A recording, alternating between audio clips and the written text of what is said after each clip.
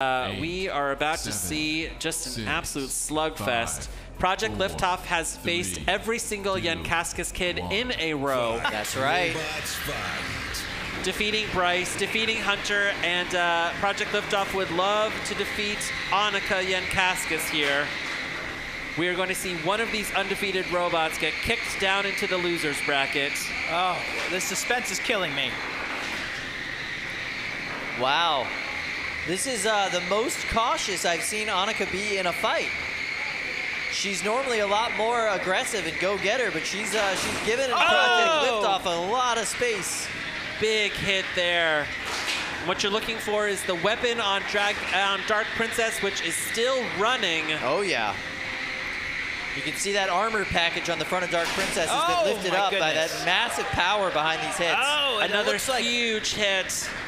And That- that, armor is just looking bent up.